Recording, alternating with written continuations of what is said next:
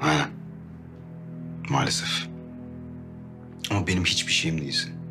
Sana sabah söylediklerimi sakın unutma. Eğer annemin yürüdüğünü tek bir kişi bile öğrenirse... ...seni mahvederim.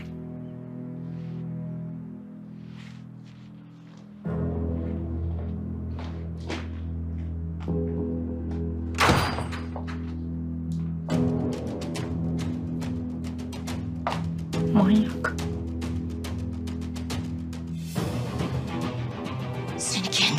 Öldürürüm. Öldürürüm. Ama oğlumla evlenmene izin vermem. Vermem. Vermem.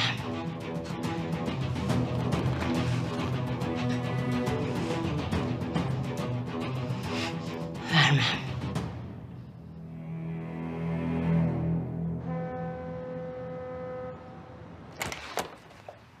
Abi.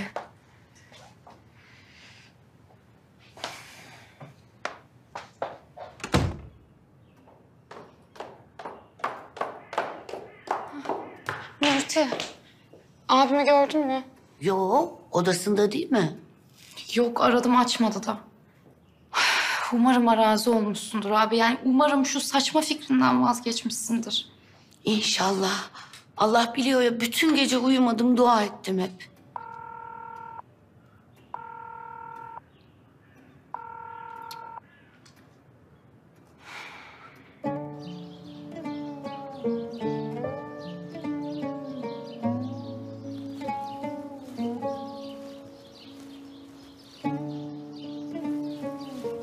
Körpecik bir fidan. Bir can işte. Emek vereceksin, bakacaksın. O da büyüyecek. Elbette sorumluluk gerektirir. Boş verip savsamışsan, başından dehlemişsen... ...diken olur batar eline. Evlat gibi. Şimdi sen bana söyle bakalım. Evladına böyle narin bir fidana bakar gibi bakabilecek misin? Babalık sorumluluğunu üstlenebilecek misin Cenk? Doğru olanı yapıyorum baba. Oğlumun sorumluluğunu alıyorum.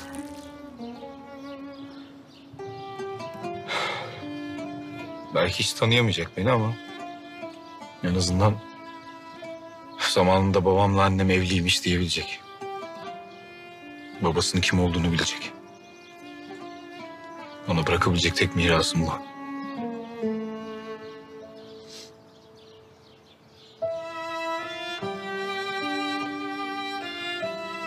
Az kaldı baba. Az kaldı geliyorum yanına. Seni yalnız bırakmayacağım.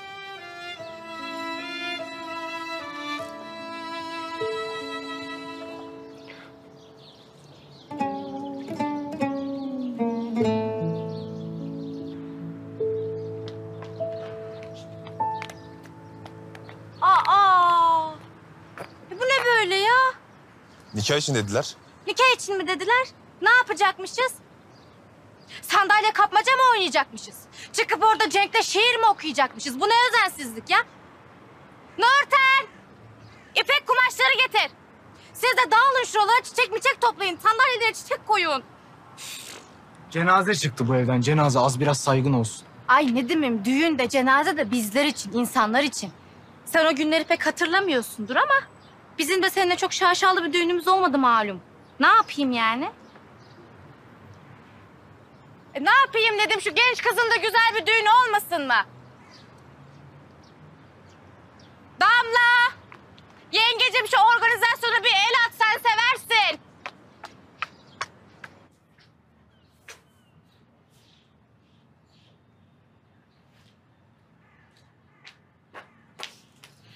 Anne.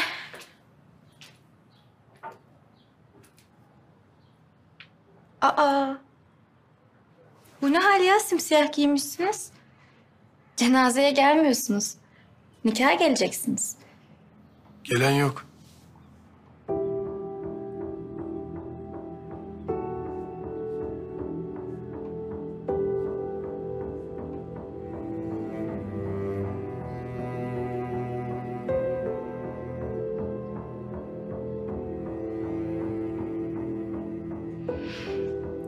Anne, bu, bu ne böyle?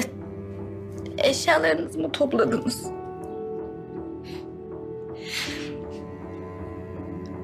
Antakya'ya mı gidiyorsunuz? Nikahıma gelmeyecek misiniz?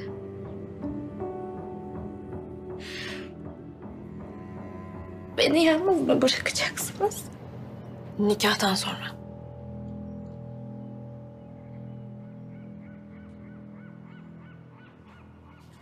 Gidin.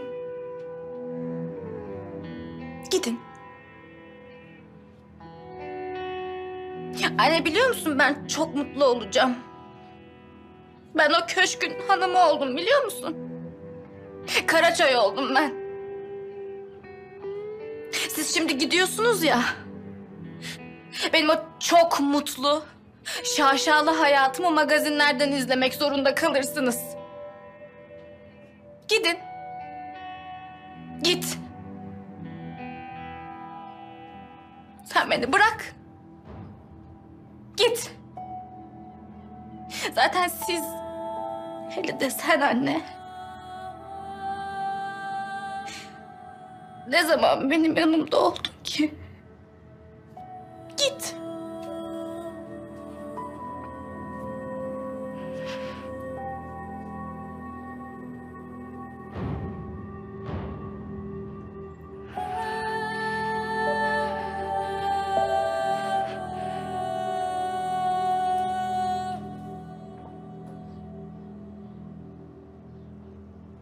Anne sen istedin ki biz hayal kurmayalım. O köyde doğduk. O köyde ölelim. Sen dünyayı o köyün küçücük bahçesinden ibaret sandın. Sen zaten başka hayat görmemişsin ki nereden bileceksin? Sen istedin ki biz o çitleri aşmayalım. Aşmayalım ki dünyayı o bahçe kadar sanalım. Ben o çiti aştım. Aştım. Hayallerime kavuştum. Ben çok mutlu olacağım. Oh ne güzel. Bu sefer gerçek Karaçay oldum. Abla. Cenk Karaçay'ın karısı Ceren Karaçay oldum.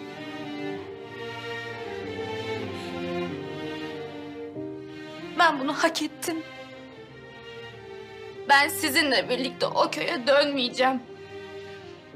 O yıkık dökük, bacası üstünde tüten harabeye dönmeyeceğim. Hayal ettiği ayakkabıyı aylarca alabilmek için para biriktiren kız olmayacağım.